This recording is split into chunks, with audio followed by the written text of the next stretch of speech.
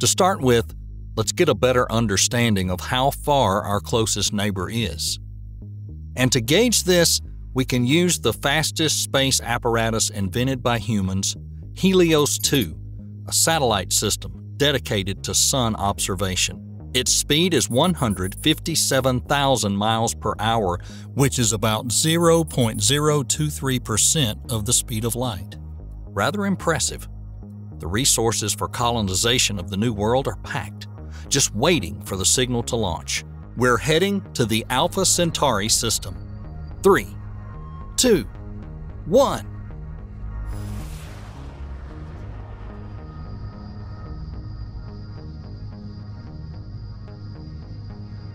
Don't worry, there's nothing wrong with your internet connection. The picture really stays the same. Right now, we're moving faster than anything ever created by humans, but on the cosmic scale, we're practically standing still.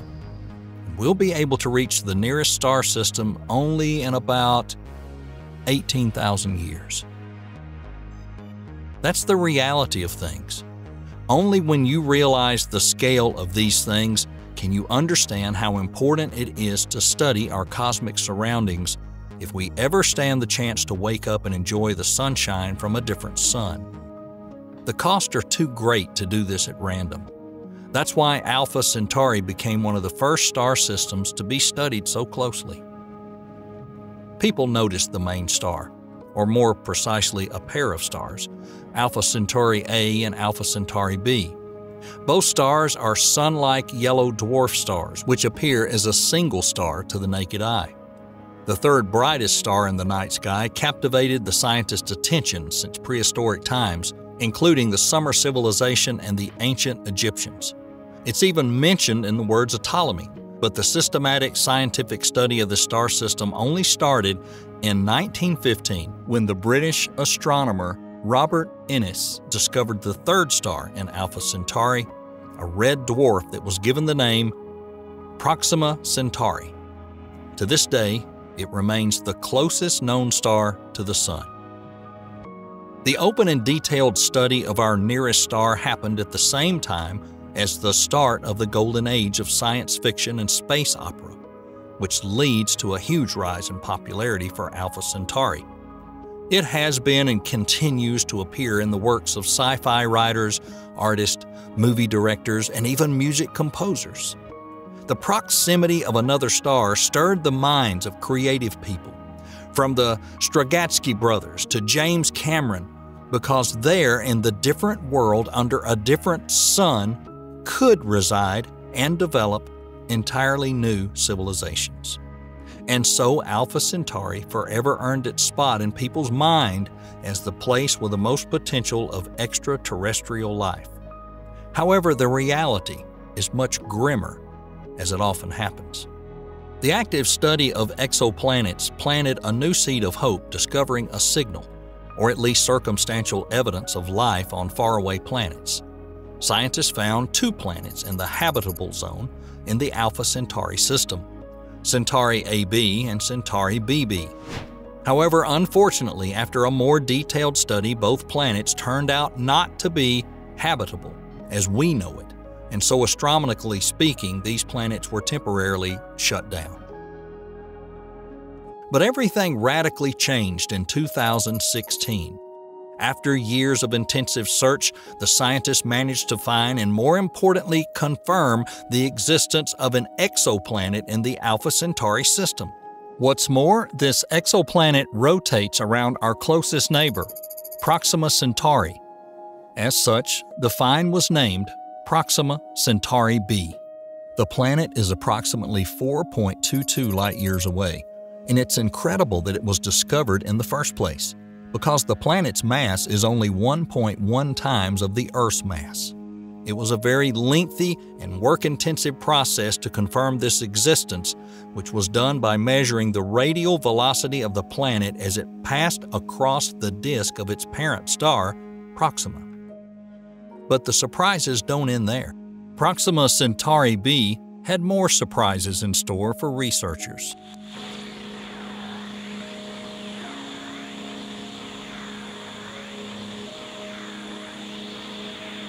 In April and May of 2019, Parkes Observatory in Australia recorded strange radio signals over the course of 30 hours, potentially coming from the Proxima Centauri b at the frequency of 982,002 MHz.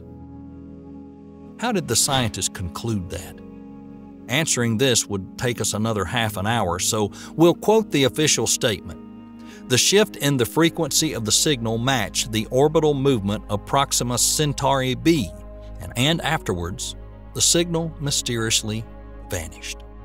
The second attempt to establish connection in 2020 was unsuccessful, and in 2021 it was calculated that the probability of a species being both present in the nearest star system and able to produce radio communication was 10 to the minus 8, which means the likelihood of this signal being artificially created was extremely low.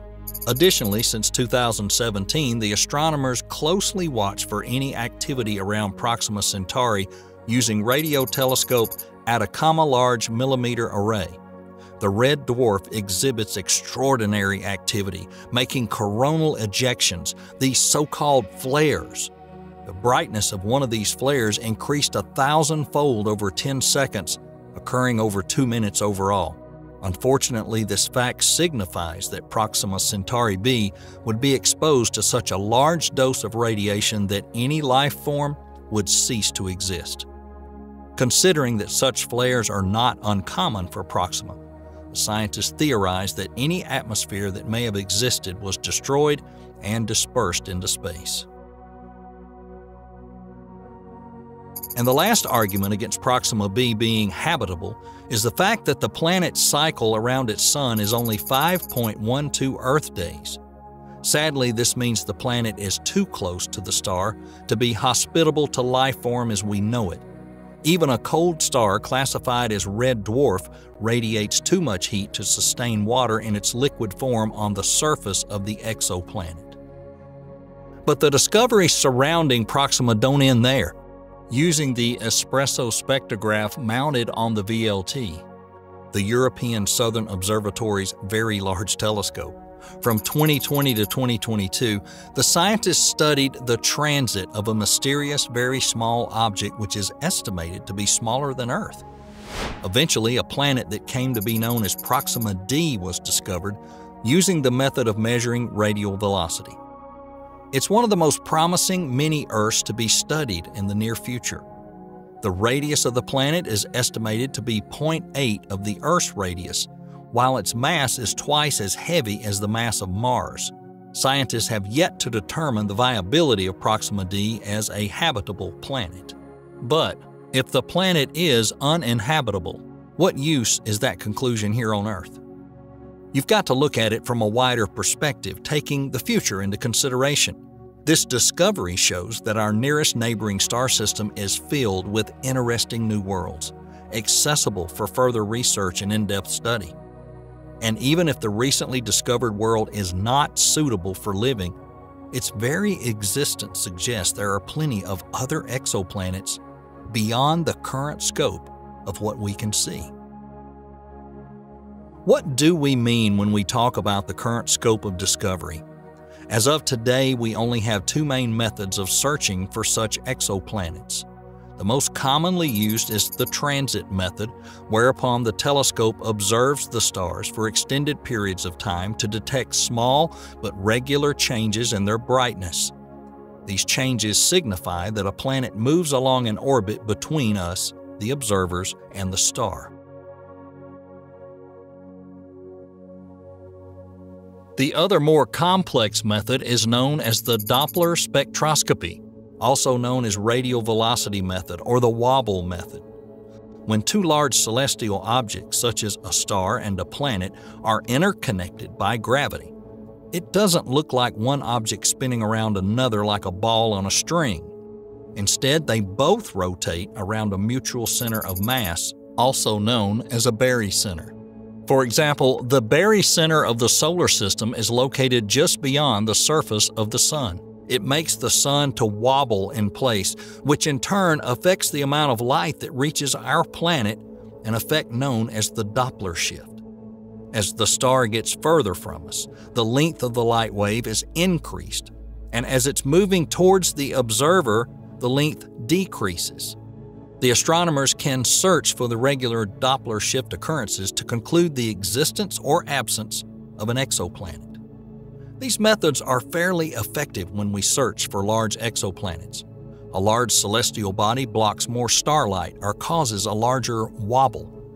But discovering objects such as Proxima Centauri b is much more difficult. These numbers speak for themselves. As of today, only 36 planets out of 32,073 registered in the NASA Exoplanet Archive have a smaller mass than Earth. We only see the giants, which are usually less habitable than the compact mini Earths. So, what needs to change in the near future? The astronomy scientists have an assured answer James Webb, the brand new space telescope, the launch of which was observed by the entire scientific community as well as anyone who cares about astronomy. It has the potential to revolutionize our understanding not only of astronomy, but the way the world works as a whole. As well as detecting and studying the light from the very first galaxies, one of the most important tasks faced by the telescope crew is the search for habitable exoplanets. The image captured by James Webb should be so detailed that we'll be able to detect the presence or absence of atmosphere on Proxima Centauri b. Because if the planet has an atmosphere, its winds will redistribute the heat to the cool side of the planet. As such, it will be possible to measure how much heat the planet radiates in an infrared range. As the planet moves along its orbit, we will mostly have the view of its cool side, depending on the way it's positioned.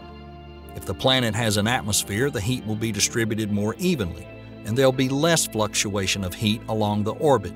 On the other hand, if the planet doesn't have an atmosphere, then the heat exuded in our direction will fluctuate dramatically as the planet moves.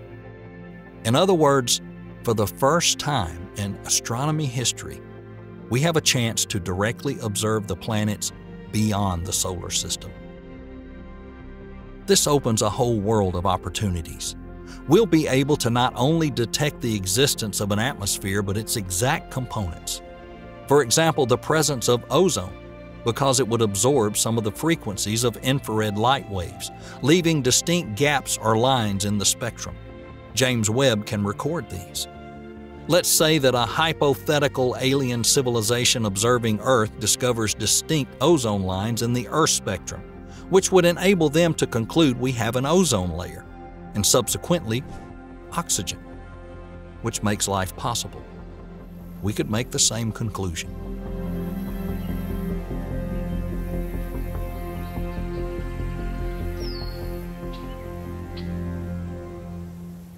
Furthermore, James Webb can determine the axial tilt of a planet, as well as its size relative to the size of the star.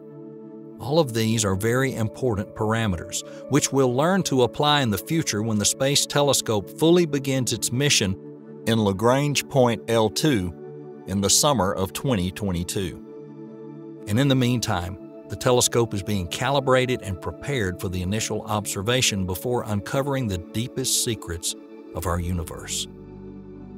When we talk about JWST, we're talking about the imminent future of studying exoplanets. But what if we look a little bit further? What awaits us in a more distant but already foreseeable future? Travel to these new worlds? Of course.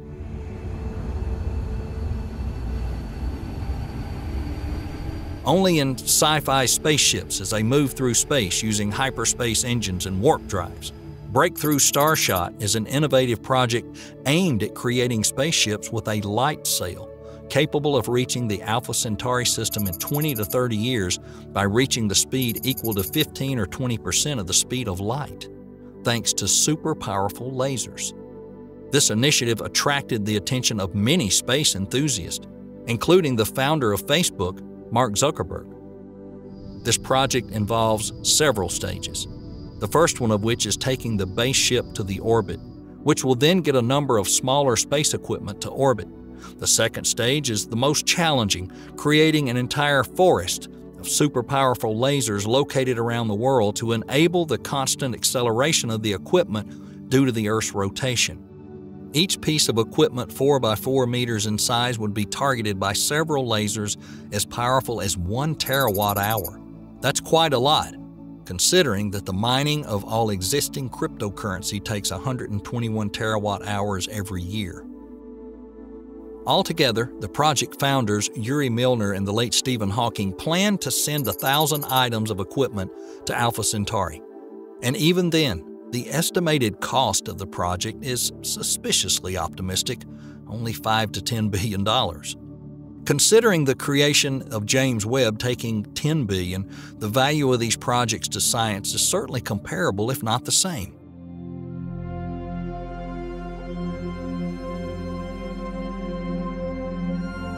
Just imagine if we could send the probes to the stars that could become the penultimate stage in preparation for colonizing the faraway worlds? This would allow humanity to receive sufficient information about the worlds we may plan to visit in the near future. It could also answer that most existential question How many worlds are there, and how likely is the existence of life out there? Life as we know it. Not to mention the more exotic options like those science fiction authors love to invent. Finally, we want to discuss the potential non standard life forms we might encounter on an exoplanet. Remember how mid video we mentioned that Proxima Centauri is a rather temperamental star which flares up every 10 to 30 hours, showering the exoplanet Proxima b with abrasive rays, incredible amounts of radiation, and other treats? Well, these conditions are deadly to practically any life form on Earth. But the hope to encounter aliens lives on. Theoretically, life on Proxima Centauri b is possible, even taking into account the massive burst of radiation. Some living beings are able to hide from the deadly UV radiation. Aliens, or at least their single cell forms, may exist under the planet's surface or deep in the water, taking cover and natural hiding spaces. Additionally, the process of UV absorption by proteins that's not been fully studied yet, which once again, in theory, allows us to speculate that organisms that possess these protective proteins can convert the UV radiation into biofluorescent radiation with a different wave frequency. Roughly speaking, we could dig down a few feet below the surface of Proxima b and discover an entire civilization of glowing, biofluorescent creatures. Let's take Earth as an example. As you come down to the bottom of the ocean, you discover that some types of coral polyps contain fluorescent proteins, which are photoactivated when exposed to UV radiation in the long wave A range at wavelengths of 315 to 40 nanometers and in the blue regions of the spectrum at 420 to 700 nanometers, covering it into radiation with a longer wavelength. If there are organisms on Proxima b that could have adapted this method of radiation conversion, this planet could glow very brightly at certain wavelengths, possibly even within the visible spectrum. And such powerful glow would be possible to detect using the incredible tech such as James Webb.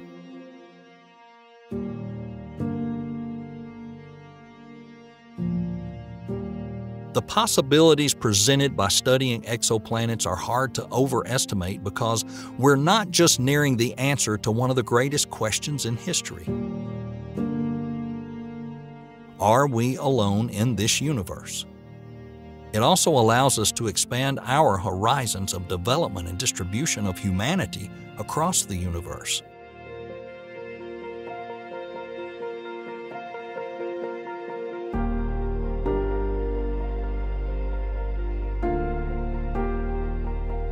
Time will tell if Proxima Centauri b is only the first of a trillion similar worlds or if it's an exception.